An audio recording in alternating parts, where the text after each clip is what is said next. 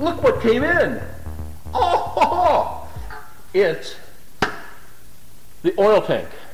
This is a three liter oil tank, custom made, and uh, comes with a nice set of instructions right here from Light Engine Services in Salmon Arm, British Columbia. And this is going to go in place of that plastic tank that I didn't like. This is going to have much lower profile to it. And uh, yeah, I think uh, I think it's going to work out just fine. So um, yeah, I'm going to I'm going to go install this now and uh, um, follow along in my excitement. Uh, something new for the airplane, slight mod, and uh, yeah, I'm I'm um, I'm rambling because um, I'm trying to figure out what to say other than my oil tank arrived and I'm going to be putting her in. So, uh, oh, I know what I need to say. Down there, there's a uh, right down there, down there, a like button and a subscribe button. Be really cool if you like click on both of those. And maybe hit that little bell thingy when and select all notifications so that um, whenever I, um, um, you know, upload something about the madness happening here in the hangar, you get to see it. So, uh, last episode I started that engine, but I was running it on premix because I didn't have the oil reservoir in. Now I'm going to put the oil reservoir in and do a few other little modifications, but I won't be starting it today. Um, there, will be another surprise on the next episode. So, um, yeah, thanks for following along. I appreciate it. Um, watching us, some crazy guy in a hangar working on an experimental airplane. And, um, um, yeah, so let's uh, pitter patter and let's get at her. Okay, I was going to narrate this whole portion of the build, which is basically cuts of me um, you know, fitting and measuring and drilling and bolting and riveting. But I think, you know, this time I'm just going to go and, oh, there's a cut. I'm, uh, I'm just going to go and let it play and let you watch it and um, see what you think. Uh, leave a comment. See if you like it uh, with or without narration, or if you think narration is needed to kind of explain what is going on. And if that's the case, then I'll uh, I'll redo the video and um, and um, add some narration. Anyways, um, hope you enjoy it. Let me know what you think. Talk to you in a few minutes. Bye bye.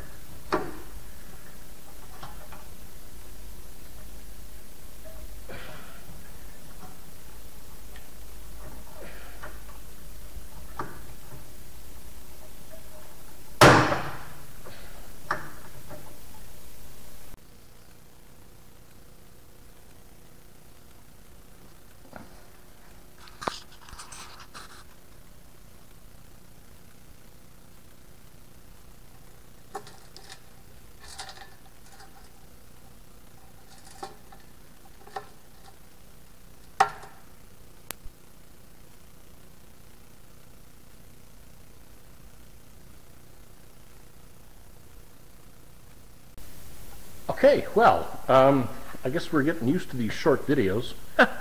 um, I took some close-up shots and uh, and whatnot, and hopefully you got the gist of what it takes to install this oil tank. And as you can see, it fits on there beautifully. Now, I, once I get the wings on um, and I get the the covers across the top, um, I'm probably going to have to uh, drill some holes in, in the cover so that um, it, um, well, for the oil fill cap, that kind of stuff. But we'll address that when I get the wings put on and get all that stuff. So a little bit of cutting fiberglass may be required. But that's it. That is a three liter oil tank. Um, well, it's called a three liter oil tank, but apparently it only holds about 2.8 liters. Who cares? It's close enough. So three liters uh, will be more than enough, or 2.8 liters, will more than enough to run two full tanks of fuel based on fuel consumption and uh, and whatnot. That um, so that's a 63 liter tank or 17 U.S. gallons, and that's a three liter tank, which is just under a gallon in the U.S. It's uh, was it uh, 3.8 liters to a U.S. gallon. Yes. So it's a 3 liter or 2.8 liter tank. Uh, so do the math. It's about two thirds of a gallon, however many quarts that is, or cups, or, or spoons, or whatever. Sorry, guys. We've been metric for so long that I've forgotten all of that. I actually grew up with the imperial stuff. Uh, and then uh, I was around when Canada went metric and had to learn both. And it was a real pain. And I hated it. Now I kind of like it because it's all based on the number 10. So, yeah. Anyways, uh, that's it for today. Uh, thanks for following along. Uh, and um, with the installation of the oil tank, uh, I can't finish the installation because I'm missing one tiny little piece that wasn't shipped, but that's okay. I can pick it up at a hardware store, which I'm going to right now and that is a, um, a filter for the oil fil oil line. It's actually not a filter; it's a screen. So I got to see if I can pick one up, uh, and and if not, then um, then I'll get Bob out and Salmon Arm to arm to stick one in a in an envelope or something and, and mail it out to me. So uh, yeah, I kind of got missed in the packaging. So um, yeah, that's it. That's all there is. Um, thanks again for following along and. Well, we'll see you again here in the hangar. And remember, it's almost winter time, so keep your stick on the ice. Bye for now. Yeah, installing a new and better oil tank for the airplane. Much, much improvement. Uh, I can I can recommend everybody else do that because it's uh, it's way better than the plastic tank. Thanks for watching. See you again in the hangar. Bye bye.